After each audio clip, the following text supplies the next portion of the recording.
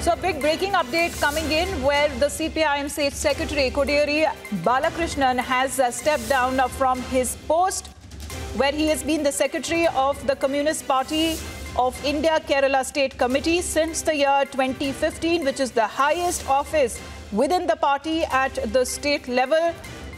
Now he has uh, stepped down from the post as uh, CPM State Secretary. Going across to Ashwin for uh, this big breaking update. So Kodiyeri Balakrishnan has stepped down as the State Secretary of the CPM. Can you give us more details? What led to this?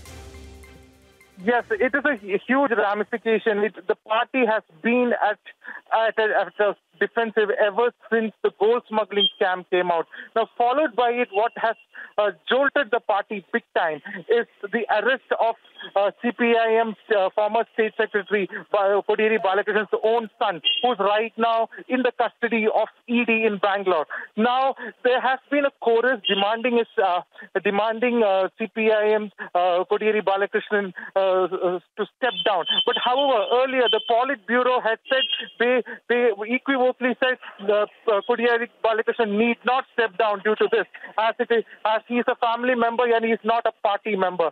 However, the way uh, Bineesh Kodiyeri's investigation is going on, it is certainly embarrassed.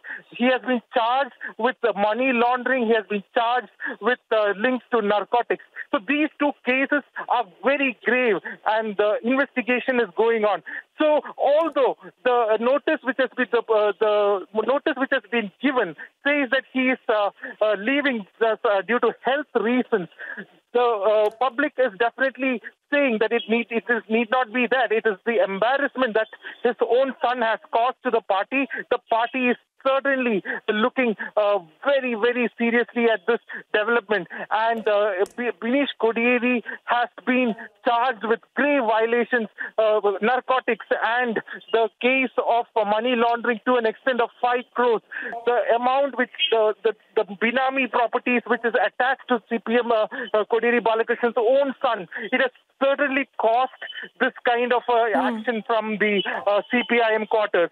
It would certainly affect the party because the elections, the local body elections are coming next month. It is just 25 days away. And it is during this time, a party state secretary stepping down from his position would definitely jolt the party. It will cause a big embarrassment. So, Ashwin, Ashwin, there is a huge can you tell us what really changed in the last few days? Because the CPM Kerala Secretariat had observed that Kodiyeri Balakrishnan does not have to resign from his position of the party state secretary. They had also affirmed faith in the Kerala State Chief Minister Pinarayi Vijayan too. So what changed in the last few days?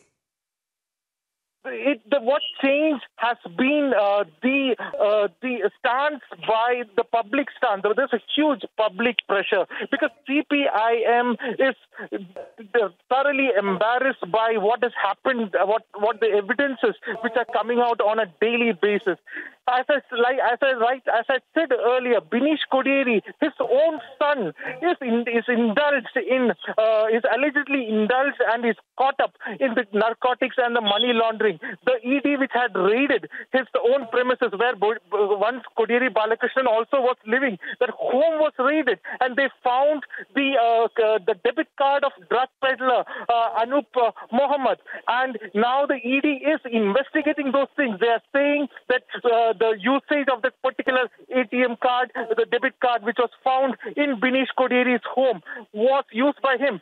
So the the, the accusations which uh, ED has filed in the court, which categorically states that Bineesh Kodiyeri uh, is thoroughly involved in various dubious activities.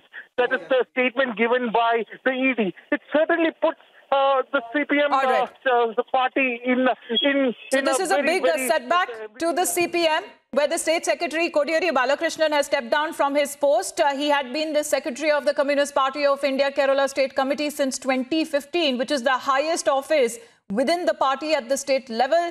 And uh, right after even affirming their faith in him, his son, Bineesh Kodiyeri, who has been sent to the central Jail prison in Bengaluru after special court remanded him in judicial custody till the 25th of this month in a money laundering case. Thanks very much, Ashwin.